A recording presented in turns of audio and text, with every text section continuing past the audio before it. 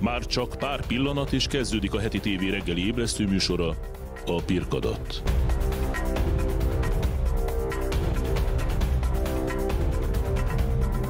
Élőben a stúdióból jelentkezik Brajer Péter.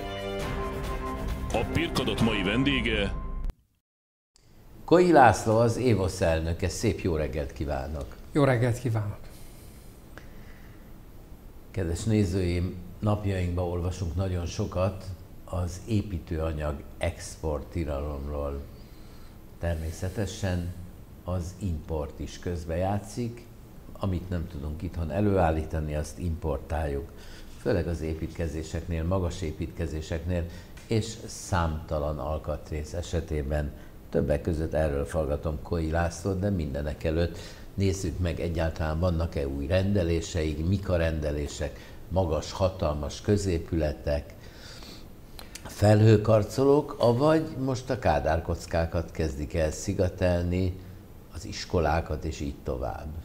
Mindig az előző évvel szoktuk összehasonlítani, hogy mi a jelenlegi valós helyzetünk, így a rendelésállományt is a 2021-hez mérjük, és azt kell mondani, hogy körülbelül annyi a rendelésállományunk, egy picit több, mint múlt év hasonló időszakában volt, de hónapról hónapra fogy a rendelésállomány a múlt évvel összehasonlítva, és ez elsősorban annak köszönhető, hogy a, az állam rengeteg építési beruházását úgymond későbbre halasztotta, és még halasztja is.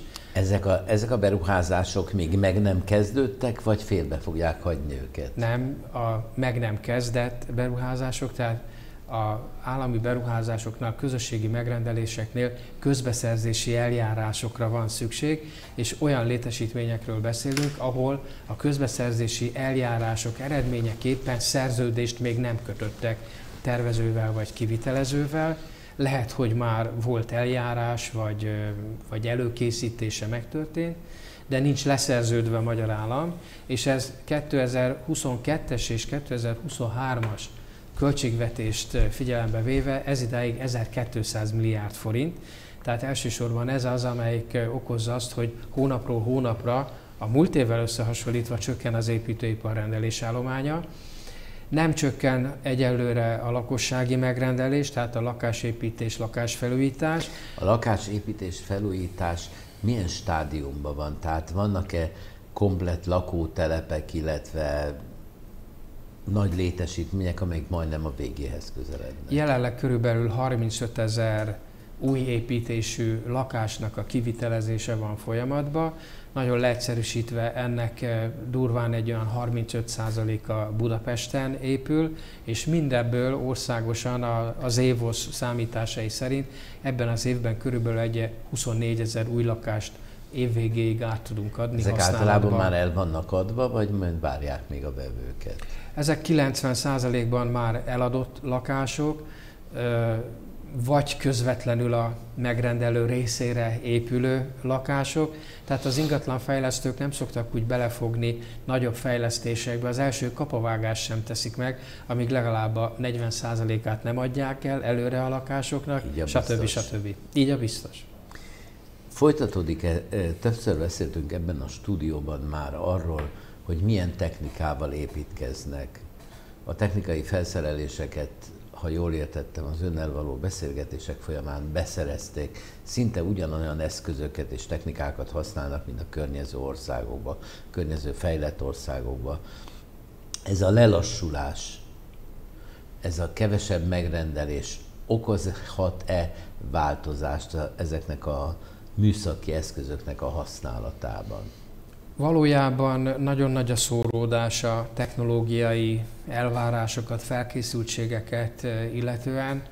A legjobb és sikeres cégek, és ez nagyságrendtől független, tehát egy önfoglalkoztató építőiparosnál ugyanúgy igaz, mint a legnagyobb építőipari cégnél, az felkészült arra, hogy eh, hatékony technológiával dolgozzon, és azt a minőséget, ami most elsősorban az energetikai dolgokra lő, azt az képes legyen, tudja ezzel a technológiával vagy megoldásokkal megvalósítani.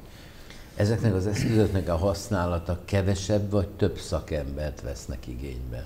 Kevesebb szakember kell hozzá, és ez is a cél. Tehát egyrészt a úgymond modern technológia kevésbé munkaerőigényes, Másrészt, ami a mi számunkra nagyon fontos, hogy a háttériparunktól, az úgymond anyagipartól olyan építési termékeket kapjunk, amit leginkább a helyszínen már csak beszerelni kell. Tehát szokták is mondani, hogy a világon mindenhol, így Magyarországon is a kivitelezés leginkább a szerelés irányába megy el, hogy a helyszínen a lehető legkevesebb idővel vagy élő munkával lehessen beépíteni ezeket. Ezeknek a beépítendő tárgyaknak az elkészítése alapanyagigényes. Van-e alapanyag hiány napjainkban, most amikor export stoppot hirdettünk a fa termékekre és hasonlókra? Tehát sok kérdés fogalmazódott meg. Az egyik lényeges kérdés az, hogy van-e elegendő alapanyagunk, ami az építési termékekhez kell, nincs, tehát ezeket jelentős részben importból szerzik be az alapanyagokat a építőanyaggyártó cégek, és ezért nagyon fontos például a forint árfolyamnak az alakulása, ami ugye befolyásolja, hogy mennyiért tudjuk importból ezt beszerezni, és hogyha gyenge a forint, akkor ez drágul és a végterméket is drágítja. Másrészt pedig a kormány, ha kicsit pontosan fogalmazunk, akkor nem export tiralmat vezetett be, hanem regisztrációs kötelezettséget írt elő, amivel figyeli, hogy a idehaza gyártott építési termékek hogyan mozognak, mennyi megy ki exportra, vagy belföldön ki, milyen volument mennyiért értékesít. Ez egy kicsit fegyelmezi az építőanyaggyártókat is, hogy elsősorban a hazai e, igényeket, e, vevőket e, szolgálja ki. És ez gyakorlatban meg is történik? És meg is történik olyan mértékben mindenképp, hogy építőanyag hiányról azért összességében most itt augusztus végén nem beszélhetünk. Értettem. Akkor azt mondja el nekem, hogy a ma épülő lakások tulajdonképpen kinek az igényeit szolgálják ki? A kis családosokét, a nagy családosokét, a luxus igényeket, vagy a minimális standardot?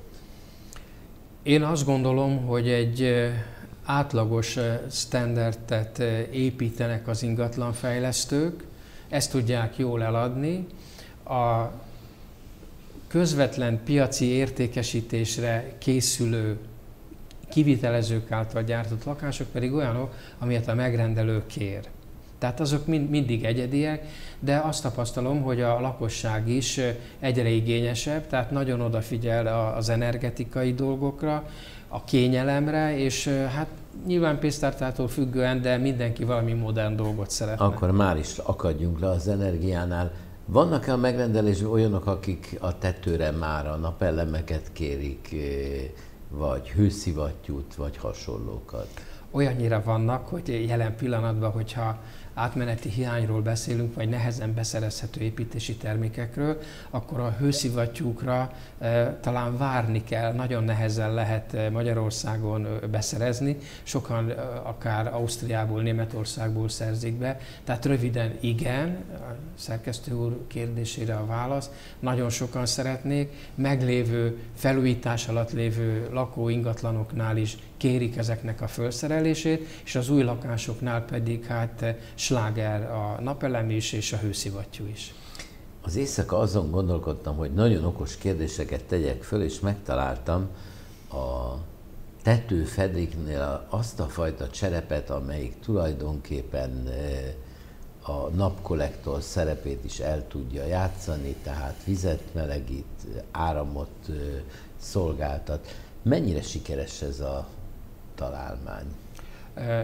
Nagyon sikeres, és ugye én nem reklámozhatom, tehát a nevét nem igazán szabad kimondanom. A nevét kér, nem is kérdeztem. De, de hazai termék, és gyakorlatilag azt tudja, hogy a nap energiáját maga a cserép összegyűjti, és azt hiszem, hogy elérhető áron azért ez beszerezhető.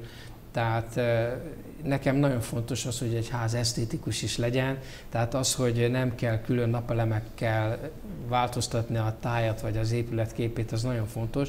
Tehát ma már van hazai gyártású, 100%-ban magyar tulajdonú cégnek olyan terméke, ami ezt tudja. És ezek a cserepek felváltják a... A napelemeket, kiváltják. A napelem, kiváltják. Tehát akkor tulajdonképpen egy ökoházat hoz létre. Hát így is fogalmazhatunk, és ugye azért nagyon fontos, hogy valamikor majd az unokáinknak az lesz a dolga, hogy ezek tönkrementek és mit csináljanak belőle. Valószínűleg, hogy a cseréből sokkal egyszerűbb lesz az ilyen cseréből újra cserepet csinálni, mint a napelemek újrahasznosítását végig gondolni. A technika változásával mennyivel lesz ez a szakma, az építőipar elitebb szakma? Véleményem szerint már most is elittebb, mint 5 vagy 10 évvel ezelőtt volt nem győzzük hangsúlyozni, hogy ez már nem az a erős fizikai munkát igénylő, koszos, életveszélyes szakma, és ez meglátszik azon is, hogy egyre több anyuka és fiatal gyerek választja az építőipari szakmát. Mi nagyon örülünk annak, hogy 40%-kal többen jelentkeztek az elmúlt két évben építőipari szakmákra, mint a korábbi években. Tehát sumázzuk a beszélgetést, nincs veszély, hogy nem lesz munka, és az építőipari munkások újból külföldre menjenek. Semmiképp, tehát ha valakinek nem lesz munkája, mert az építőiparnak nagyon rosszul menne, akkor mi is ugye elsősorban a be se tanított segédmunkásoktól kell, hogy egy ponton megváljunk. Ilyet az elmúlt években 35 ezeret fölvettünk más ágazatokból a járványos időszakban, amikor ott elveszítették a munkájukat. Köszönöm, hogy rendelkezésünkre állt. Tehát Koi László volt a vendégünk, az Évosz elnöke, nyugalom. Akinek lesz pénze, tud új lakást venni, akinek nem, forduljon a bankhoz, milliófajta kölcsönökkel támogatják ezeket. Persze azért gondolják meg, hogy lesz-e miből visszafizetni, mert klassz dolog egy újba belemenni, de ha nem fizetnek, akkor elviszik a fejük fölül. Tehát mindenki csak addig nyújtozzék, amíg a paplan ér. Köszönöm, hogy itt volt, és mielőbb visszavárjuk, hogy az egyéb kérdéseket is megbeszélhessük. Köszönöm szépen a lehetőséget. Előzetesek, és már is jövünk vissza.